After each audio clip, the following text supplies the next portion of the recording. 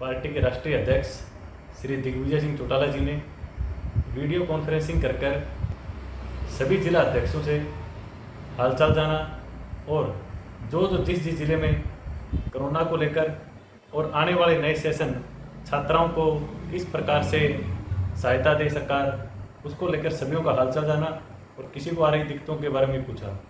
तो जिस प्रकार उन्होंने मेरे से भी जिला फतेहाबाद का सारा कुशल से पूछा और प्रत्येक छात्रों को किसी को आ रही परेशानी, उसके बारे में भी ज़िक्र किया।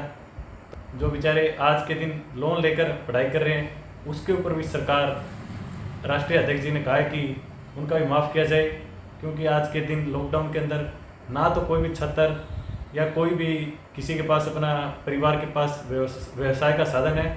इसलिए सरकार से, राष्ट्रीय अध्यक्ष जी ने हमारे को कहा है कि हम मुख्यमंत्री और उप मुख्यमंत्री जी से बात कर कर इनका माफ़ कराने का काम करेंगे। इसको लेकर राष्ट्रीय अध्यक्ष जी को अधिकृत किया गया है। वो मुख्यमंत्री जी से बात कर कर इस मामले को जल्द से जल्द छात्रों के ऊपर आ रहे लोन की और अन्य समस्याओं को दूर कराने का काम करेंगे। तो जो जिला फतेहाबाद में दिक्कत आ रही है उनके लिए आपने क्या सोच रहे हैं उनके बारे में?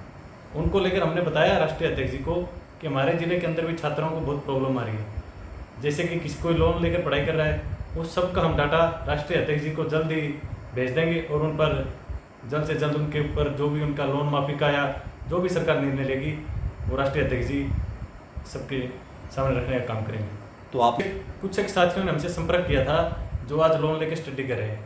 हम उन लोगों से भी पूछा कि आपके साथ या कोई आपका भाई बंधु बहन भाई अन्यथा छात्र कोई भी इस प्रकार से लोन या किसी से कर्ज लेकर पढ़ाई कर रहा है वो हमें जानकारी दे। हम इसकी जानकारी को प्रदेश के मुख्यमंत्री तक पहुँचाएँगे और इस कर्ज माफ़ी को लेकर छात्राओं को किसी प्रकार की दिक्कत न आए। क्योंकि वो हमारे देश का उज्जवल भविष्य है।